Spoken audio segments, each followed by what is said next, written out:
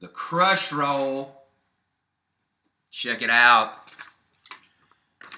You might see this sometime, maybe in a march.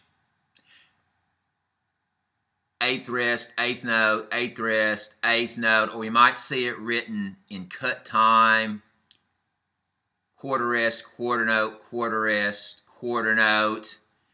You want this sound. One, two, one, pss,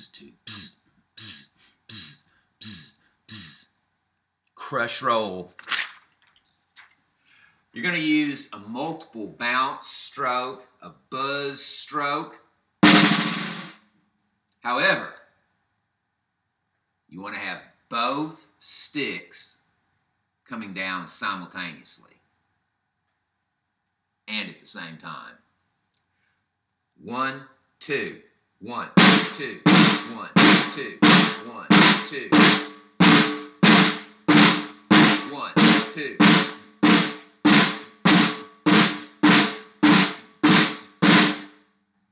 There you go. The crush roll. Get that going.